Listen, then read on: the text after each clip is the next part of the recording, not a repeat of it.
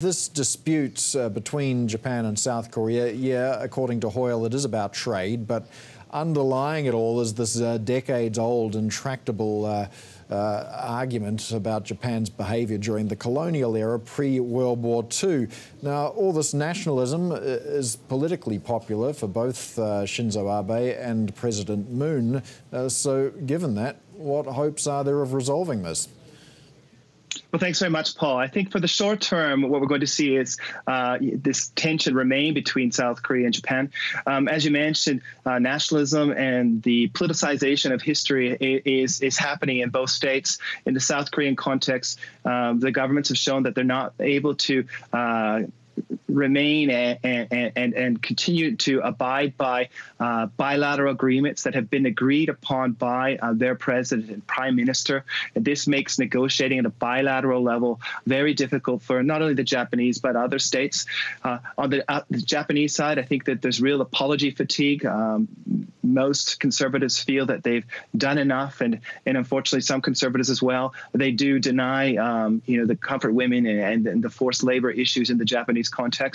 Um, so they're looking at this issue in very different ways. Um, but what we've seen is the Japanese use the the rubric of national security to uh, restrict the uh, import of some very sensitive uh, substances that are used in etching chips in South Korea, and that hits, uh, you know, the signature industries, the signature business such as Samsung, um, and it hits them hard in terms of their profitability and potential to produce these products for global export.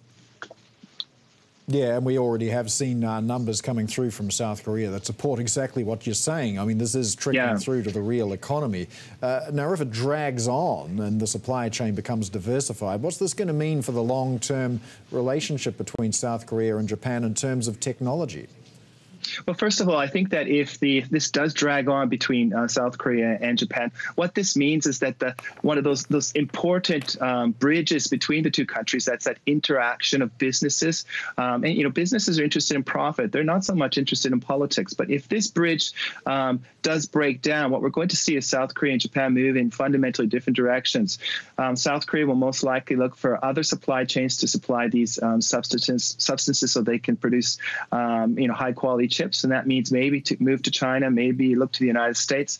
And on the Japanese side, they may look to other markets to sell their products. And what this does in terms of the, the, the end problem is that it could result in supply chain shortening and increasing the costs of, of, of chips. And of course, when we increase the cost of chips, that goes to the businesses and they generally increase the, the costs of the products they're producing. So it has the fundamental um, uh, consequence of actually um, bifurcating production networks, supply chains, and increasing the cost for consumers. And when costs for consumers increase, what do they do? They stop consuming or they decrease their consumption. That's not good for economies. It's not good for employment. And it's not good for businesses.